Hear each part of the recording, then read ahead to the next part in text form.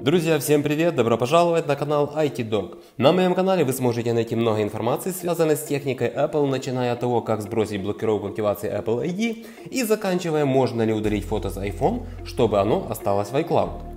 Поэтому сегодня я отвечу на вопрос, который задают многие пользователи iOS устройств, а именно как удалить фото с iPhone, чтобы оно осталось в iCloud. Друзья, но прежде чем начать, обязательно жмем на колокольчик под видео, ставим палец вверх, усаживаемся поудобнее и поехали!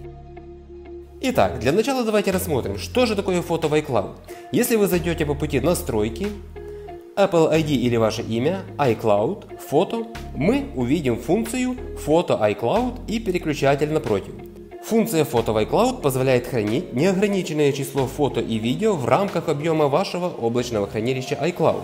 Причем, если установить галочку напротив оптимизации хранилища, вы тем самым выгрузите оригиналы фото и видео в облачное хранилище iCloud, а на iPhone останутся уменьшенные копии плохого качества. Но при наличии интернет и после открытия фото на полный экран iPhone оно моментально загрузится из облака. Фишка фото iCloud подходит для долгосрочного хранения фото и видео и с первого взгляда похожа на другие облачные сервисы, например Google. Но с фото iCloud есть определенные нюансы, о которых вам следует знать, дабы сохранить необходимые вам медиафайлы. Итак, можно ли удалить фото с iPhone, чтобы оно осталось в iCloud? Ответ – нет. Если вы захотите удалять фото с iPhone, чтобы освободить на нем место, они автоматически будут удаляться из облачного хранилища iCloud. Либо храните оригиналы в облаке и сжатые фото на iPhone, либо удаляйте из обоих мест. В этом и заключается главный недостаток облачного хранилища iCloud.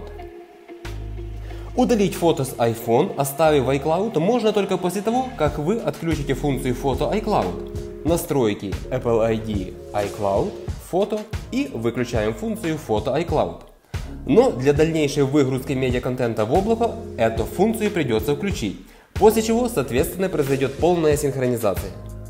Друзья, я надеюсь, что я ясно ответил на вопрос, можно ли удалить фото с iPhone, чтобы оно осталось в iCloud.